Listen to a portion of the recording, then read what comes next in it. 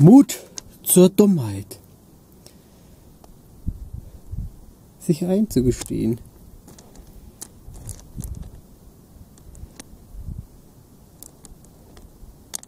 Dumm zu sein.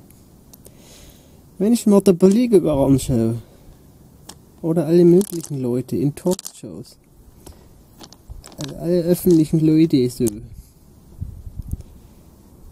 die tun immer so, als würden sie was wissen. Und darum kommen sie so falsch rüber. Im Endeffekt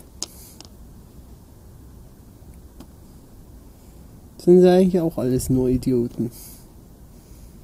Allesamt, mir eingeschlossen. Es gibt wohl keinen Nicht-Deppen oder Blödfrau, Blödmann auf der Welt. Also Mut zur Dummheit. Vielleicht ehrlich sein, dass man selber nicht ganz so schlau ist, wie man mal tut. Dass man einfach oftmals völlig unsicher ist in Bezug auf was als nächstes passiert, weil man es gar nicht weiß, was als nächstes passiert. Und dann ist doch gut, wenn man sich auch als dumm mögen kann, wo auch immer man sein könnte. Schon die Idee, dass man sich magen könnte, mögen kann, dass es da äh, mich und mein Selbst gibt. Wer liebt wen? Ich lieb mein Selbst und mein Selbst liebt mich.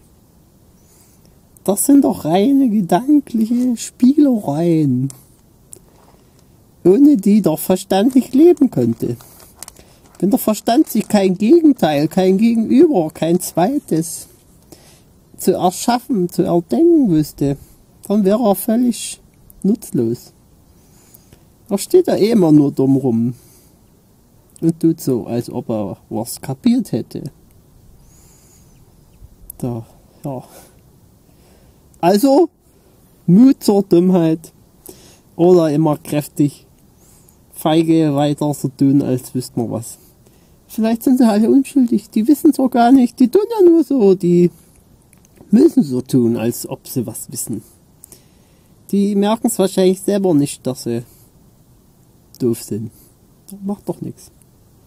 Ich weiß es zumindest. Dass meine Dummheit grenzenlos ist. Dumm, dümmer am dümmsten.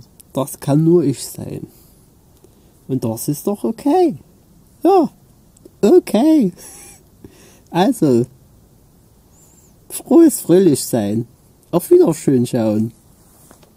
Ich red natürlich mit mir selbst. Sabralü, Sabralüt.